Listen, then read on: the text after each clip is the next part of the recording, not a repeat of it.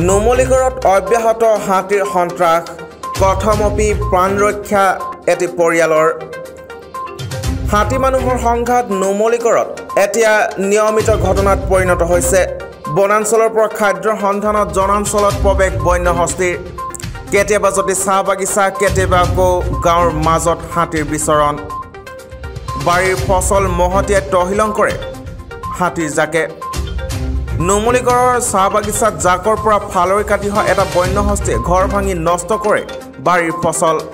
আনহাতে চাহ বাগিচাৰ মাজত আশ্ৰয় লৈ থকা হাতীৰ জাকৰ বাবে বাগিচাত কাম কৰাৰো অসুবিধাৰ সৃষ্টি হয়।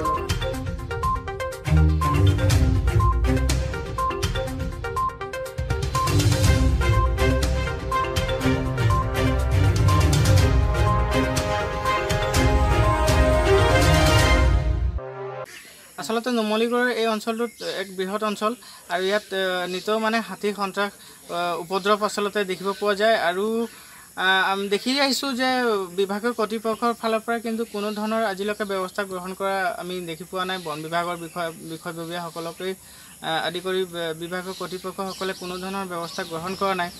আৰু ভাগ্যক্ৰমে আমি কালি বাচিছোঁ যিহেতু মূল ঘৰটো ভাঙিবলৈ নাপালে হাতীয়ে।